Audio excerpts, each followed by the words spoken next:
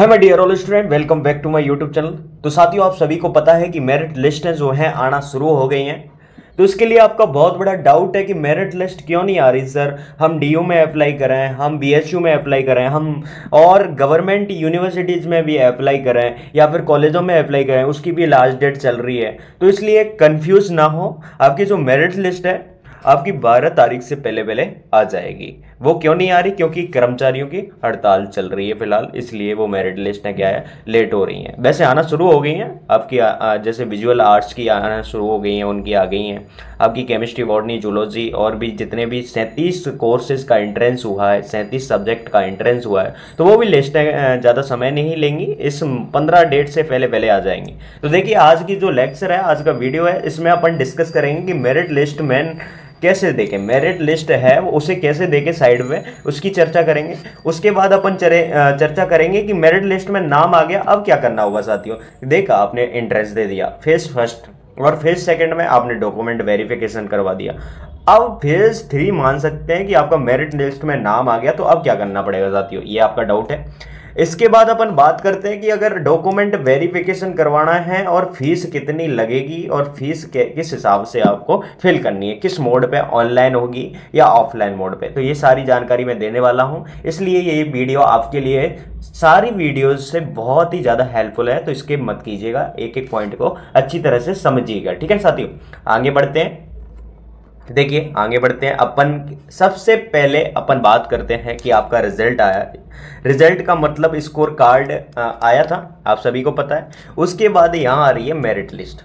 और merit list में नाम होने के बाद आपका हो जाएगा, क्या हो जाएगा? एडमिशन। ठीक है? ये प्रक्रिया चली थी। ठीक है साथियों? तो ये सारी चर्चा हमने पहले कर चुके हैं। अब अपन बात करते हैं कि मेरिट लिस्ट को कैसे देखें। तो साथियों, सबसे पहले आपको क्या करना है? Uniraj dot A C dot in इस साइड पे जाना होगा। इस साइड में जाने के बाद आपको इस प्रकार का पेज देखने को मिलेगा। इस पेज में यहाँ पर लिखा है, एडमिशन सेशन 2023-24 इस पर आप क्या करेंगे? क्लिक करेंगे।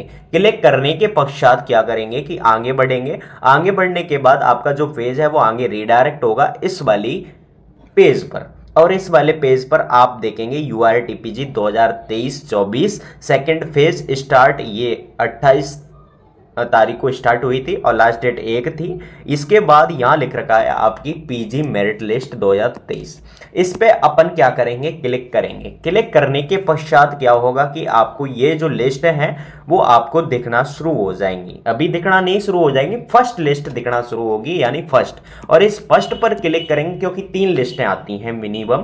तो तीन लिस्टों में आपकी फ़र्स्ट लिस्ट जो है, यहाँ दिखना शो होना शुरू हो जाएगी। इस पर क्लिक करेंगे तो आपके सारे सब्जेक्ट वाइज जो लिस्ट है, वो दिखना शो हो जाएँगी। तो जैसा कि अभी मैं वीडियो बना रहा हूँ, इस समय आपकी जो लिस्टेज हैं विजुअल आर्ट की, इसकी दो लिस्टें यहाँ पर दिखाई दे रही हैं साथियों, ठीक है? ये तो आपको लिस्ट में देख लेंगे। इसके बाद अगर लिस्ट को अगर क्लिक करते हैं तो ये ऑटोमेटिकली आपके फ़ोन में डाउनलोड हो जाएगी। डाउनलोड होने के बाद आप अपना नेम सर्च कर सकते हैं। देखिए, फॉर्म नंबर मिल जाएगा, आपको रोल नंबर मिल जाएगा।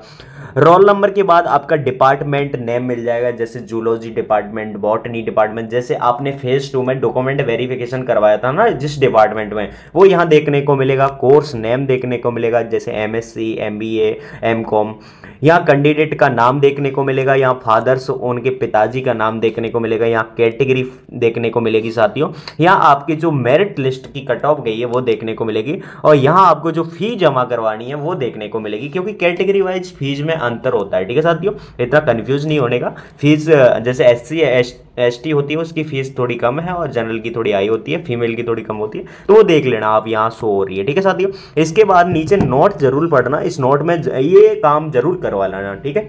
अगर ये नहीं करवाए तो आपका एडमिशन निरस्त हो जाएगा, इसके बाद आपके जो कैंडिडेट है, उनको ले लिया जाएगा, ठीक है? तो देखिए इसमें क्या है कि आपके जो verification document verification deposit fees आपको कितने? लगभग आपकी मेरिट लिस्ट आ गई। उसके तीन दिन के अंतर्गत ये सारा काम करवाना पड़ेगा। आपको डॉक्यूमेंट फिर से वेरिफिकेशन करवाने पड़ेंगे। इसके लिए फ़ी भी आपको ऑनलाइन मोड यहाँ आपको सीधा सीधा देखने को मिल रहा है कि यहाँ ऑनलाइन मोड से आपको फ़ीस डिपॉजिट करवानी है। वो भी वेबसाइट पर जाके, ठीक है? ये सारा काम देखने को मिलेगा। ये काम ज़रूर करवा लेना, ये काम मत भूलना साथियों, ठीक है?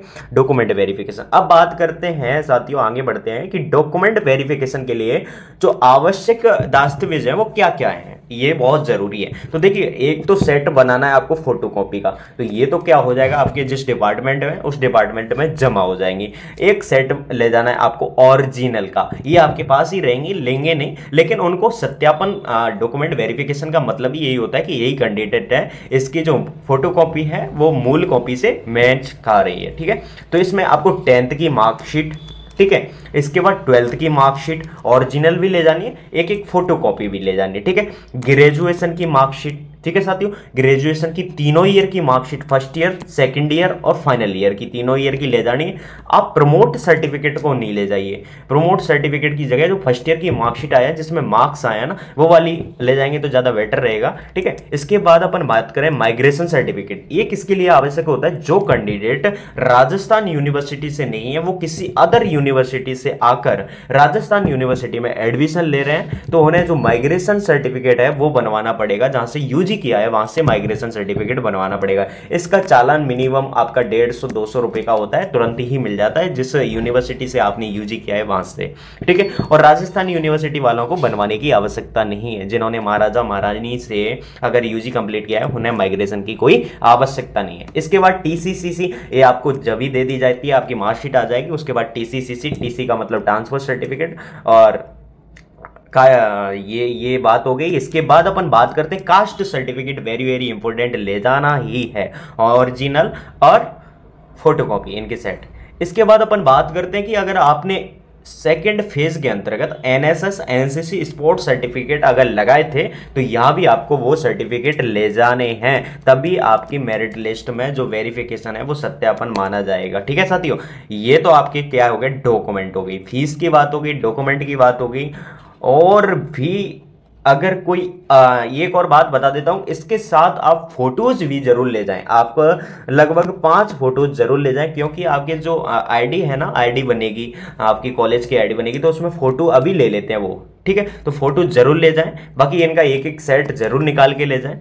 और तीन दिन के अंदर ये काम करवाना बहुत ज़रूरी है। और भी कोई इन्फॉर्मेशन है, आपके मन में कोई डाउट है तो वो मेरे लिए कमेंट कर सकते हैं। मैं आपके हर कमेंट का रिप्लाई देने के लिए आतुर रहता हूँ, ठीक है? धन्यवाद। थैंक यू सो मच फिर मिलते हैं फिर किसी नेक्स्ट टॉपिक के साथ। Thank you